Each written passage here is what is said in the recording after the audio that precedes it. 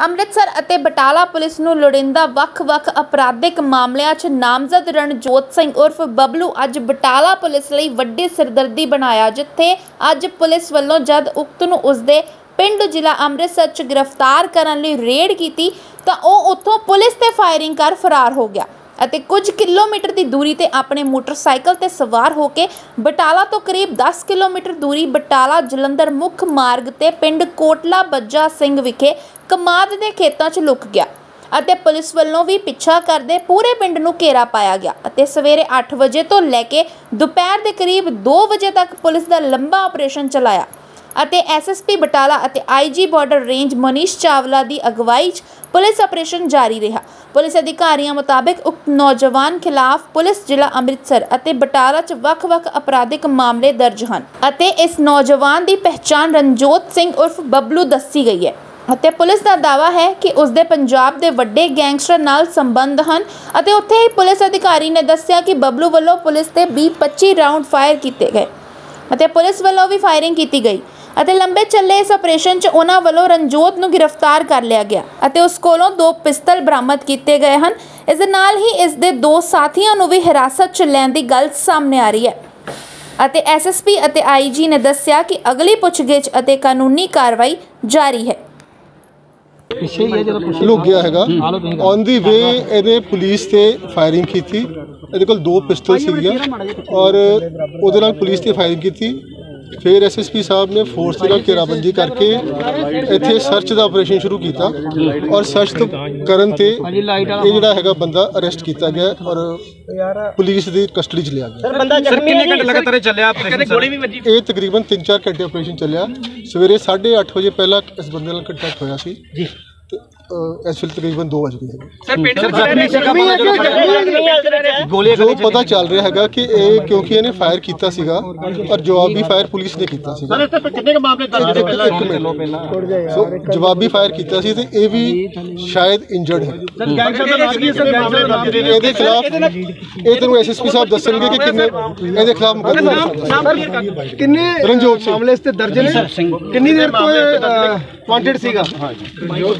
ਇਹ ਜਿਹੜਾ ਇਹ ਜਿਹੜਾ ਗੈਂਗਸਟਰ ਆ ਜੀ ਸਰ ਇਹ ਪਿੰਡ 'ਚ ਰਹਿ ਰਹੇ ਸੀ ਪਹਿਲੇ ਮੈਂ ਮੈਂ ਦੱਸ ਮੈਂ ਮੈਂ ਬਰੀਫ ਜੀ ਬਰੀਫਿੰਗ ਇਹ ਰਣਜੋਤ ਸਿੰਘ ਜਿਹੜਾ ਇਹ ਗੈਂਗਸਟਰ ਆ ਇਹ ਇਹਦੇ ਤਕਰੀਬਨ 4 ਤੋਂ 5 ਮੁਕਦਮੇ ਅੰਮ੍ਰਿਤਸਰ ਰੂਰਲ ਦੇ ਵਿੱਚ ਰਜਿਸਟਰ ਆ ਤੇ ਹੁਣ ਲੇਟਲੀ ਪਿਛਲੇ 15 ਦਿਨਾਂ 'ਚ 2 307 ਦੇ ਮੁਕਦਮੇ ਅਸੀਂ ਬਟਾਲੇ 'ਚ ਵੀ ਰਜਿਸਟਰ ਕੀਤੇ ਆ। ਸੋ ਇਹਦੇ ਹੋਰ ਵੀ ਗੈਂਗ ਮੈਂਬਰ ਸੀਗੇ ਸਾਰਿਆਂ ਨਾਲ ਅਸੀਂ ਅੱਜ ਸਪੈਸ਼ਲ ਆਪਰੇਸ਼ਨ ਚਲਾਇਆ ਗਿਆ ਸੀਗਾ। ਡੀਜੀ ਸਾਹਿਬ ਦੀਆਂ ਹਦਾਇਤਾਂ ਤੇ ਰੈਗੂਲਰੀ ਜਿਹੜੇ ਕ੍ਰਿਮੀਨਲਸ ਆ ਗੈਂਗਸਟਰ ਉਹਨਾਂ 'ਤੇ ਆਪਰੇਸ਼ਨ ਚੱਲਦੇ ਰਹਿੰਦੇ ਸਾਡੇ। ਸੋ ਇਹ ਅੱਜ ਘਰੋਂ ਭੱਜ ਗਿਆ ਸੀਗਾ। ਘਰੋਂ ਭੱਜ ਕੇ ਪੁਲਿਸ ਨੇ ਇਹਦਾ ਪਿੱਛਾ ਕੀਤਾ। ਪਿੱਛਾ ਕਰਕੇ ਇਹ ਇਸੇ ਰੋਡ ਤੇ ਉੱਪਰ ਮੋਟਰਸਾਈਕਲ ਇਹਨੇ ਆਪ ਦਾ ਸੁੱਟਤਾ ਤੇ ਪੁਲਿਸ ਤੇ ਫਾਇਰਿੰਗ ਕਰਕੇ ਭੱਜ ਗਿਆ। ਫਿਰ ਉਦੋਂ ਤੋਂ ਹੀ ਅਸੀਂ ਪੁਲਿਸ ਪਿੱਛਾ ਕਰ ਰਹੀ ਸੀ। ਪੁਲਿਸ ਨੇ ਵੀ ਜਵਾਬੀ ਫਾਇਰ ਕੀਤਾ ਇਹ ਜ਼ਖਮੀ ਵੀ ਇਹਦੇ ਗੋਲੀ ਵੀ ਲੱਗੀ ਹੈ ਤੇ ਉਹਦੇ ਚ ਜ਼ਖਮੀ ਵੀ ਹੋਇਆ ਹੈ ਸਰ ਕਿੱਥੇ ਰਹਿ ਰਿਹਾ ਸੀ ਇੱਥੇ ਗੋਲੀ ਕਿੱਥੇ ਲੱਗੀ ਇਹ- ਇਹਦਾ ਇਹਦਾ ਇਹਦਾ ਇਹਦਾ ਘਰ ਮੈਂ ਹਲੇ ਤੁਹਾਨੂੰ ਡਿਸਕਲੋਜ਼ ਇਸ ਵੇਲੇ ਨਹੀਂ ਕਰੂੰਗਾ ਕਿਉਂਕਿ ਸਾਡਾ ਇੱਕ ਸੀ ਮੈਂ ਮੈਂ ਹਲੇ ਉਸ ਬਾਰੇ ਨਹੀਂ ਦੱਸੂੰਗਾ ਜੀ ਕਿੰਨੇ ਬਾਕੀ ਪਰਿਵਾਰਕ ਮਾਮਲੇ ਕਿੰਨੇ ਮੈਂ ਮੈਂ ਦੱਸ ਚਲੇ ਰਿਹਾ। ਸਰ ਕੋਈ ਇਨਪੁਟ ਸੀ ਕਿ ਇੱਥੇ ਇੱਥੇ ਅੱਜ ਇੱਥੇ ਹਾਂਜੀ ਹਾਂਜੀ ਸਾਰੇ ਅਸੀਂ ਅਸੀਂ ਇਨਪੁਟ ਤੇ ਵੀ ਸੀ ਔਰ ਜਨਰਲ ਸਾਡੇ ਰੇਟਸ ਵੀ ਸੀਗੇ। ਇਹਦੇ ਇਹਦੇ ਤਾਲੁਕ ਰੱਖਦਾ ਸੀ? ਕਿਹੜੇ ਗੈਂਗ ਨਾਲ ਸੀਗਾ ਕਿਹੜੇ ਗੈਂਗ ਨਾਲ ਤਾਲੁਕਾਤ ਸੀ? ਦੇਖੋ ਇਹ ਜਿਹੜੇ ਗੈਂਗਸਟਰ ਆ ਇਹ ਇਹ ਸਾਰੇ ਹੀ ਗੈਂਗਸਟਰ ਨਾਲ ਇੱਕ ਦੂਜੇ ਦੀ ਹੈਲਪ ਕਰਦੇ ਇੱਕ ਦੂਜੇ ਨਾਲ ਮਦਦ ਕਰਦੇ ਆ।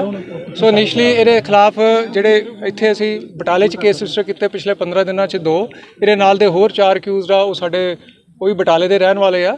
ਸੋ ਡਿਟੇਲ ਇਹਦੀ ਹੁਣ ਅੰਮ੍ਰਿਤਸਰ ਰੂਰਲ ਤੋਂ ਵੀ ਅਸੀਂ ਪਤਾ ਕਰਾਂਗੇ ਉੱਥੇ ਦੇ ਕੋ ਅਕਿਊਜ਼ ਕਿਹੜੇ ਸੀਗੇ। ਬਟ ਇਹ ਸਾਰੇ ਆਪ ਦੇ ਨਾਲ ਇੰਟਰ ਰਿਲੇਟਡ ਹੀ ਹੁੰਦੇ ਆ। ਦੋ ਦੋ ਵੈਪਨ ਵੀ ਇਹਦੇ ਤੋਂ ਮਿਲੇ ਆ ਸਾਨੂੰ। ਕਿੰਨੀਆਂ ਗ੍ਰਿਫਤਾਰੀਆਂ ਹੋਈਆਂ ਜੀ? ਇਹ ਦੱਸੋ ਗ੍ਰਿਫਤਾਰੀ ਹਲੇ ਇੱਕ ਹੀ ਹੋਈ ਹੈ ਜਿਹੜਾ ਇਹਨੂੰ ਅਸੀਂ ਫੜਿਆ ਆ ਇਹਨੂੰ ਇਹ ਜ਼ਖਮੀ ਹਾਲਤ ਦੇ ਵਿੱਚ ਹੈਗਾ ਆ ਔਰ ਦੋ ਪਿਸਟਲ ਵੀ ਰਿਕਵਰ ਹੋਏ ਆ। ਫਾਇਰ ਕਿੰਨੇ ਹੋਏ ਟੋਟਲ ਜੀ? ਫਾਇਰ ਦੋ ਜਣੇ ਹੋਰ ਵੀ ਫੜੇ ਆ।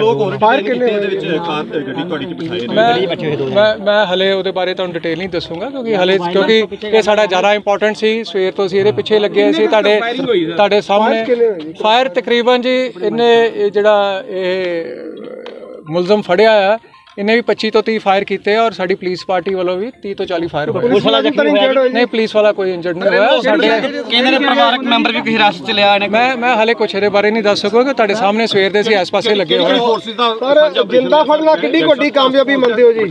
ਦੇਖੋ ਸਾਰਾ ਆਪਰੇਸ਼ਨ ਹੁਣ ਤੁਹਾਡੇ ਸਾਹਮਣੇ ਆ ਤੁਸੀਂ ਲਾਈਵ ਸਾਰਾ ਕੁਝ ਦੇਖਿਆ ਆ। ਸਾਡੇ ਜਾਂਬਾਜ਼ ਪੁਲਿਸ ਅਫਸਰ ਸਾਡੇ ਜਾਂਬਾਜ਼ ਪੁਲਿਸ ਮੁਲਾਜ਼ਮ ਆਨਰੇਬਲ ਡੀਜੀਪੀ ਸਾਹਿਬ ਦੀ ਅਗਵਾਈ ਦੇ ਵਿੱਚ ਹਮੇਸ਼ਾ ਹੀ ਆਪਦੀਆਂ ਜਾਨਾਂ ਕੁਰਬਾਨ ਕਰਨ ਲਈ ਵੀ ਤਿਆਰ ਆ ਔਰ ਹਮੇਸ਼ਾ ਤਿਆਰ ਵੀ ਰਵਾਂਗੇ। ਸਾਡੀ ਬਟਾਲਾ ਪੁਲਿਸ ਔਰ ਸਾਡੇ ਇੱਥੇ ਬਟਾਲਾ ਪੁਲਿਸ ਦੇ ਨਾਲ ਸਾਡੇ ਕੋਲ ਸਪੈਸ਼ਲ ਐਸਓਜੀ ਕਮਾਂਡੋ ਵੀ ਸਾਡੇ ਨਾਲ ਹੈਗੀ ਆ ਔਰ ਸਾਰਿਆਂ ਨੇ ਆਈਜੀ ਸਾਹਿਬ ਆਪ ਇੱਥੇ ਸੀਗੇ। ਸਾਰਿਆਂ ਨੇ ਅਸੀਂ ਰਲ ਕੇ ਔਰ ਵਧੀਆ ਇਹ ਅਸੀਂ ਆਪਰੇਸ਼ਨ ਕੀਤਾ ਔਰ ਅਸੀਂ ਇਹਨੂੰ ਫੜਨ ਦੀ ਕਾਮਯਾਬ